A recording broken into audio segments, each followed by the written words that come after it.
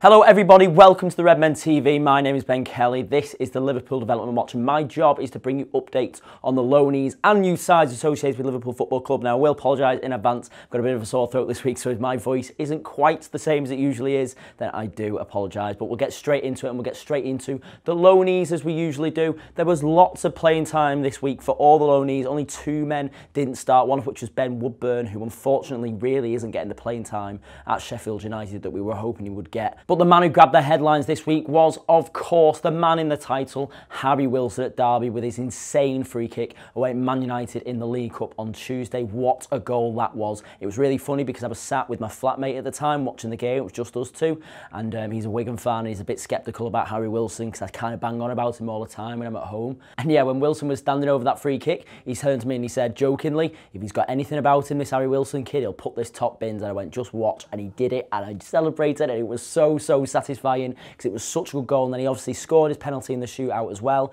Really calm, cool, and collected penalty. And my fingers crossed that he wasn't going to miss it, you know, and, and put, put Derby under some pressure in the shootout. And they had really held the nerve and got through the cup tie there. Really, congratulations to them and Frank Lampard and Harry Wilson. What a week that will have been. They unfortunately, though, lost at the weekend to Bolton away at the University of Bolton Stadium, I believe it's now called. It was either the Reebok or the Macron or whatever you want to call it these days. Um, Wilson was less effective. Derby had a lot of the ball. They dominated the game in terms of the possession stats, but they struggled to beat a resilient Bolton down. To be honest, they did deserve to lose. So a mixed week overall, but obviously the headlines were taken by Wilson's free kick at Old Trafford on Tuesday. What a goal that was. Elsewhere in Europe, Allan Rodrigues finally made a start for Eintracht Frankfurt. Of course, this guy has been with the club for years now, but he's been getting loaned out in order to attain a work permit. If he gets a suitable amount of time on the pitch this season, this will be the last season that he will need to go out on loan in order to go, contribute towards that work permit. So like I say, this is his first start. Hopefully it's the first of many because if he does,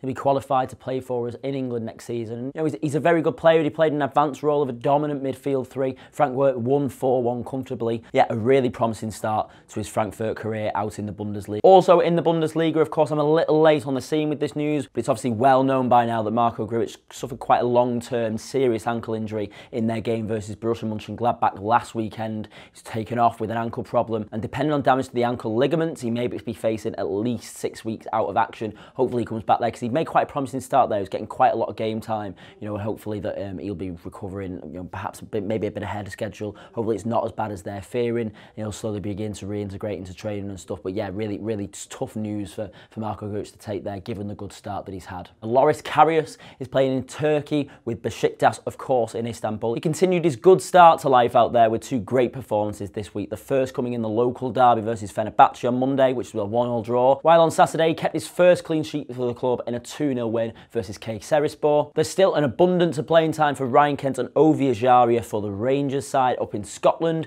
Steven Gerrard's side got through the semi-finals of the Scottish Cup in the week, but suffered a shock loss to Livingston on Sunday, leaving them sixth in the Scottish Premiership. Elsewhere in Scotland, Adam Bogdan is in great form for Hibs, keeping back-to-back -back clean sheets this week to make it three in a row for them. He couldn't quite do enough, though, to keep them in the Scottish Cup, where they lost 6-5 in a penalty shootout. They're above Rangers now in the Scottish Premiership and really pushing. They're in some really good form.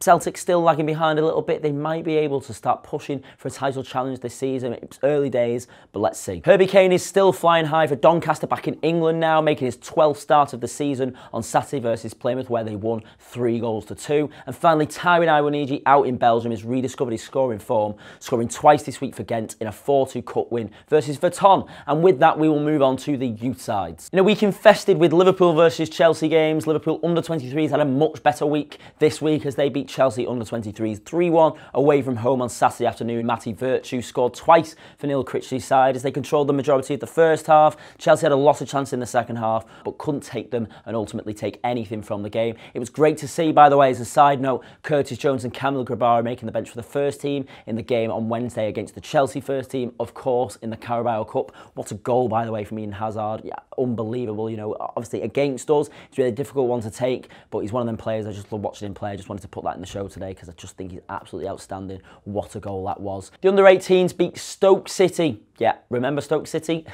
4-2 away from home in the first Premier League Cup fixture of the season, meaning they go top of the group. That was also on Saturday. Those guys are scoring loads of goals at the moment, and the informed Bobby Duncan got another two to add to his tally this season. He is looking so good. In fact, I won't be surprised if come January time, maybe a couple of the under-23s players go out on loan. He and Paul Glatzel might be looking at a step up to the under-23s, much like Curtis Jones and some other of the other 18, did last season. And even looking further ahead than that, look at Curtis Jones now. He's beginning to knock on the door of the first team, as I mentioned earlier in the show. And that is it this week for the Development Watch, ladies and gentlemen. Thank you very much for watching, as always. My name has been Ben Kelly. Follow me on Twitter at bkelly776 and do all the usual stuff that I normally ask you to do. Whether you do it or not, I don't know, but like I say, subscribe to the channel, like the video, leave me a comment down below about your thoughts on the show, and I'll see you next week for more Development Watch goodness. Goodbye.